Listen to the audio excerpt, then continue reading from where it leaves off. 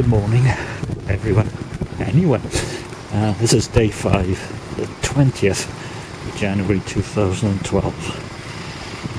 And while it's milder, the wind is, well, the wind is wind chill. Anyway, on the GoDaddy front, um, they've got a UK support number which patches through to uh, Arizona, so step out into Skype, tested this morning.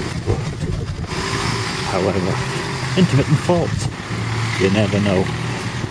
So, the plan for the day, um, no agenda. Windows Weekly, there was a Verge cast recorded last night, but that's not up yet. Uh, Costa Coffee, I lost the mega ship. And then the Malcolm Uphill, and then the three, three arches. I managed to snag the bear's head yesterday on the Ale Trail. I wonder if I'll be able to do the same today. It's chilly.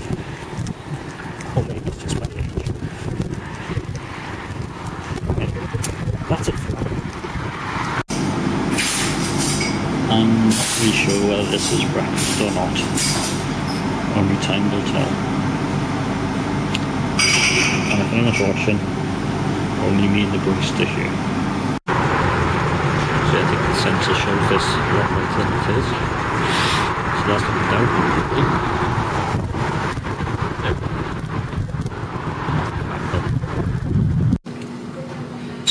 There is certainly light bulb problems in here today. Anyway, this is Radgie Gadgie Mordue, 4.8% alcohol by volume. Um, the lights are back on. Anyway, so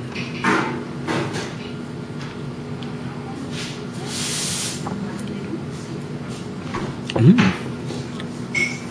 Pleasant enough ale with a really solid back of the tongue aftertaste. I'd give that a B plus.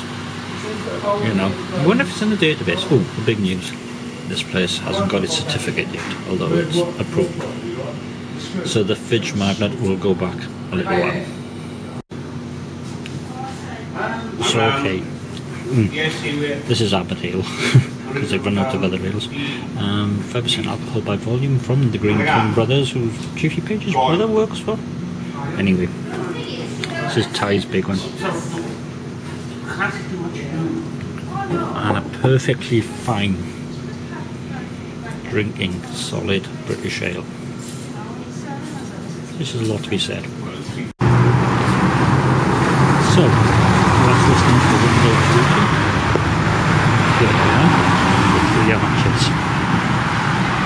It's a three arches garage. No, Ooh, fresh coffee. I could actually do a fresh coffee.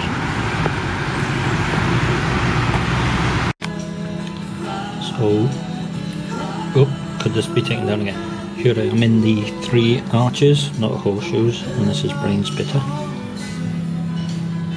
There are a lot of people in here, but whatever. Anyway, 3.7% alcohol by volume and less creamy than used to be. I didn't like it because it was too creamy.